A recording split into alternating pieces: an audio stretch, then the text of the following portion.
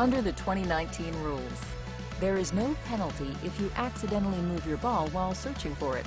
If you do, replace your ball back on its original spot.